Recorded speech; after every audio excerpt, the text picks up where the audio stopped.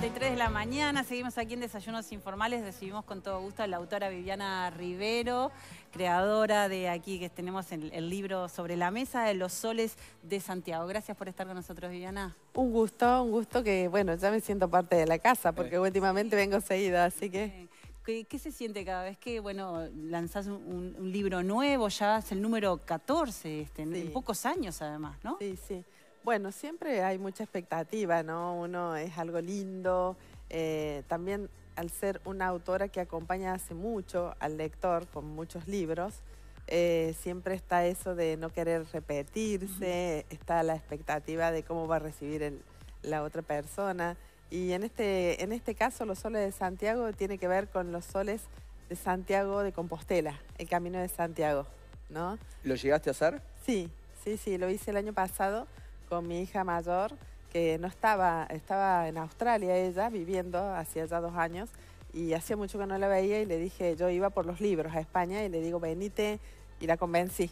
Hicimos el camino de Santiago juntas. Duro, ¿no? Eh, Para duro, hacerlo. pero es una, es una experiencia fuerte, muy linda, sí, ¿no? ¿no? Porque yo digo que queda todo lo lo mm, urgente queda en tu casa, queda en el trabajo y, y, solamente estás ahí con lo importante. Claro. Porque no hay mucha señal y aunque haya señal, vos sabes que no podés eh, arreglar nada a la distancia y la gente que sabe que estás haciendo el camino también no te pide nada, estás lejos.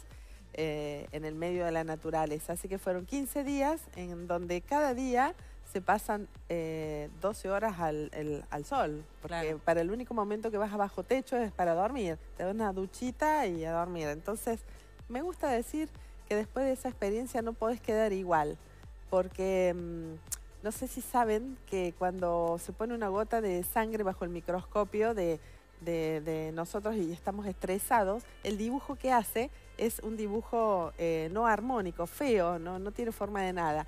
Y una gota de sangre mirada bajo el microscopio del ADN, cuando estás en un buen momento, es armonioso. La cadena del ADN tiene eh, una cadenita linda, eh, similar a las mandalas, el dibujo.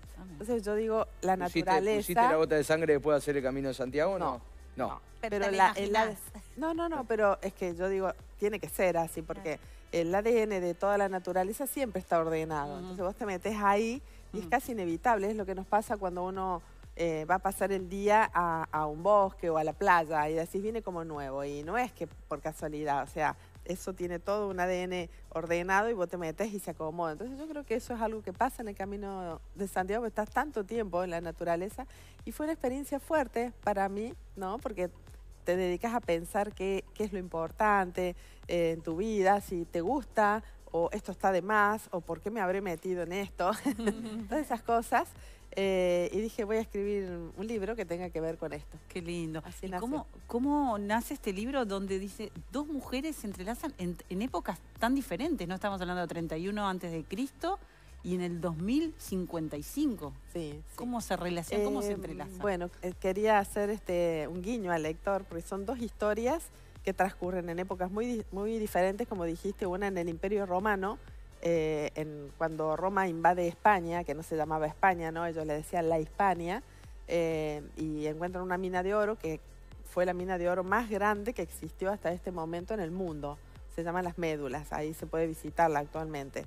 Eh, y bueno, todas las, las, series de relaciones que se empiezan a dar entre los romanos y, la, y, la, y los que vivían ahí, que eran los astures de Asturias, ¿no? Asturias, Galicia, esa es la zona. Eh, se empiezan a dar relaciones laborales, los astures eran muy elementales, ¿no? Eh, se dedicaban al trueque, a, las huertas, y llegan estos romanos tan sofisticados y se empiezan a dar relaciones de toda clase, de amistad, laborales, eh, románticas, y entonces en esta historia tengo una mujer de 18 años a la que le han robado el hijo, que va a hacer el recorrido, el mismo recorrido el camino que actualmente se llama Camino de Santiago, que M, que es la pelirroja de la tapa, en el 2055. Ambas van a hacer el mismo camino eh, por el verde, por eso es en dos épocas distintas, pero en el en el mismo lugar físico. Eso trata el libro. Eh, y bueno, cada una tiene su historia, pero ambas se van a conectar. Eh, el lector lo va a descubrir enseguida qué es lo que, en dónde se conectan y, M, que es la pelirroja de la tapa, va a descubrir eh, en un momento del libro qué la une a ese lugar, a las médulas, qué tiene su vida que la une a eso. Y tiene que ver con la palabra los soles de Santiago, que en realidad no son los soles de, las puestas de sol, sino que se refiere a unos soles de oro, que es un objeto, que es un, sol especial con, con, los rayos ondeados, eh, que bueno, el lector va a ir descubriendo que no le vamos a decir mucho. ahora, tus libros siempre tienen mucha investigación histórica. ¿Cuánto tiempo te lleva eh, desde que tenés la idea hasta que el libro por fin ve la luz? Y eh, lleva bastante tiempo, ¿no? tiene sus varios meses. En este caso, tanto la parte histórica, que es lo que conté de Roma, como la parte futurista, porque la historia moderna transcurre en el 2055, eh, también tuvo una buena investigación, solo que esa investigación yo ya venía haciéndola por gusto, o sea, era un tema que me interesaba, yo hace varios años que vengo investigando a ver hacia dónde vamos. Creo que también porque me gusta la historia, porque siempre descubro que la historia se conecta tanto con el presente, que por eso me gusta ver también lo del futuro. Mm, y, siempre me, me, gusta comentar en casa, viene esto, ¿no? O el chip. Y, me decía mi marido un día, ¿y por qué no escribís de eso? Y dije, ¿por qué no?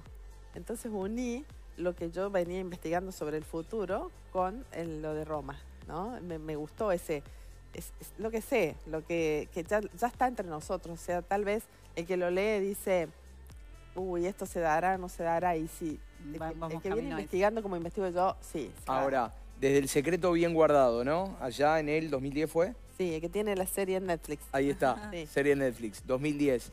A em, Los Soles de Santiago. ¿Sentís también que ha habido un cambio tuyo a la hora de escribir las novelas? ¿Ha visto una transformación en vos? Más allá de que sean tópicos y novelas muy distintas una con la otra.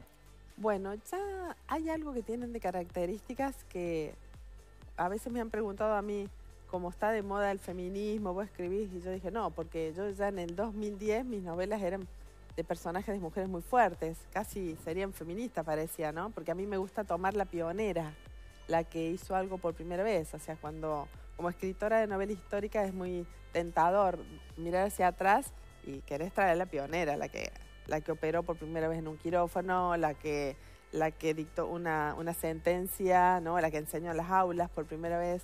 Entonces, eso es, digamos, lo que tienen en común los libros, que tal vez ahora parece como eh, actual, de decir, usa esto, pero yo vengo con eso desde el 2010.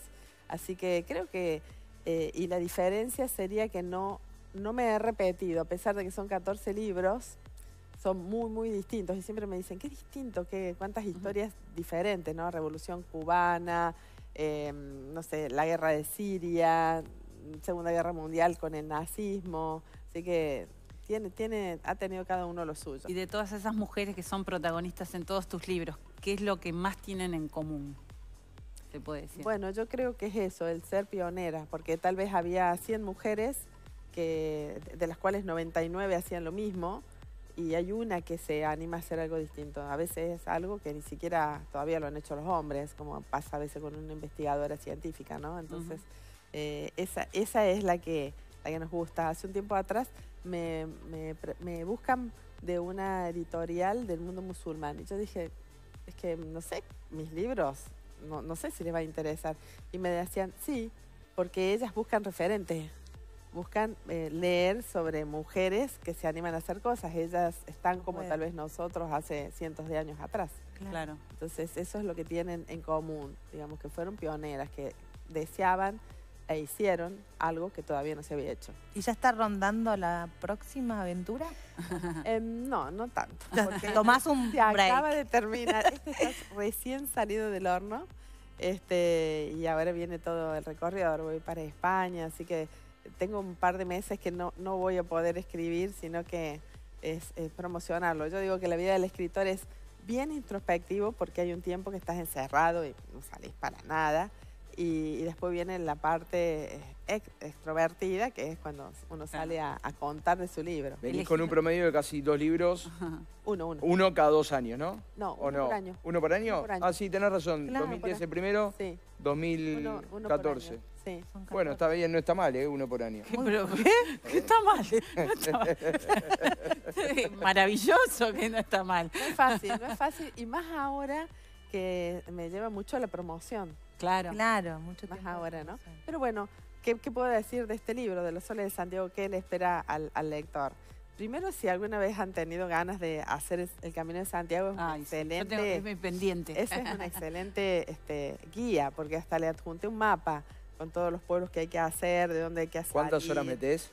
No, porque Y hay, hay depende- diferentes formas, ¿no? Sí, hay un mínimo de camino de Santiago eh, que se, es desde un pueblo que se llama Ocebreiro. Menos de eso no se considera camino. Y después vos le podés poner para, para adelante, para salir antes lo que quieras.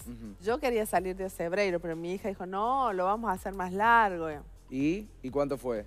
Y estuvimos 15 días, hacíamos 24 kilómetros por día, a veces eh, 20, a veces 16, los, los menos que hemos Llegaste hecho. con los sellitos, además. Todos los sellitos, sí. sí, vas poniendo. ¿Y los Y- piecitos cómo quedaron? Ay, terrible, terrible, terrible. Porque una cosa es caminar derecho, pero otra cosa es la bajada. Claro, que A es- veces estás- calzado especial, Claro. las medias también Sí, especiales, dicen. Eh, 17 kilómetros en bajada es tu- tus uñas pegando contra el- la zapatilla adelante. Entonces, Claro. Eso fue terrible. Ahí tuvimos que quedarnos dos noches en el mismo lugar para recuperarnos, Claro. porque hasta a mí me había subido hasta la fiebre, Mira. porque las uñas se aflojan. Entonces, Ah, perdés las uñas. Claro. claro. Este, bueno, así que este libro tiene una guía, tiene, si, que, si querés saber cómo eh, es el futuro, qué nos espera, y bueno, esto es un poco lo que yo vengo investigando de hace años. ¿no? Y más allá de eso, tiene una historia de amor, tiene un, un thriller, porque esta chica es M, la de la tapa, es alguien que en el futuro, cuando ya nuestro celular eh, no, no esté este, en una máquina fuera, sino que lo metan adentro de un granito de arroz a todos nuestros datos, y para no perderlos mm, y nos aseguren que no nos va a pasar nada a nuestro cuerpo, y te lo pones bajo la piel, ¿no? O sea, es muy tentadora la idea. Ujú. Entonces M está un poquito cansada porque se da cuenta que las, las búsquedas en lo que en ese momento es Google se hace eh, de manera mental, ya no necesitas teclear, entonces pensás y le pedís la información y entonces ella empieza a notar que no distingue entre sus pensamientos y los de Google. Y es eso, sumado a algunas crisis de soledad que ella tiene, la lleva a quitárselo eh, y cuando se lo quita se pone en contacto con ella un grupo de gente que están en contra de- de la máxima tecnología y del sistema de vida del 2055, que son 12 familias a nivel mundial de las más adineradas que mandan aún a los presidentes de las naciones, o sea, tienen el dominio de todo. Eh, y le proponen a ella hacer un, eh, un acto de sabotaje. Entonces, para eso ella tiene que hacer el camino de Santiago y llegar a hacer el acto en Santiago de Compostela. Por el camino va a conocer un hombre que cuando ya hablen ya tengan suficiente eh, intimidad, van a descubrir que están en los bandos opuestos y que cada uno está en bandos opuestos por ideales. Así que por eso digo que también tiene una historia de amor. ¿Llegaremos al 2055? Y no falta Como- nada. No falta Como nada. para decirle después a Viena, qué razón tenías, Sí, ¿eh? pero sí, si además viene investigando todo el Sí, proceso, mira, la- el avance de la tecnología. Me hizo la nota una periodista de Clarín y me decía ella, no, no, me impactó tanto el libro, Sí. dice, la- que, que le leo a mis hijos, tenía hijos adolescentes, y lo digo porque me puede escuchar ella, así es verdad esto. Dijo, yo le leo partes a ellos, porque dice, son ellos los que van a tener que tomar las decisiones de Claro. lo que pase y quiero que estén conscientes. Entonces, el libro busca un poco eso, mm, sacarte de esa comodidad y, y ver hacia dónde vamos. Claro. Esto es. Y también tiene como una mirada esperanzadora porque da la salida. Bueno, pero si no nos gusta, esta es la salida. Hay Claro. que ver si la queremos tomar. Viviana, lo podemos encontrar en todas las librerías hoy en día. Sí, ya, sí, ya ya están está. en todas las librerías. Bueno, Sí, un sí. placer, muchísimas gracias. Gracias a muchos ustedes, éxitos. chicos. ¿eh? Muchas Gracias. Muchas gracias. Ahora tenemos un móvil musical. Tenemos Sí. al gran Jorge Nasser con nosotros. Estamos contigo, Nadia. Lo dicen los que lo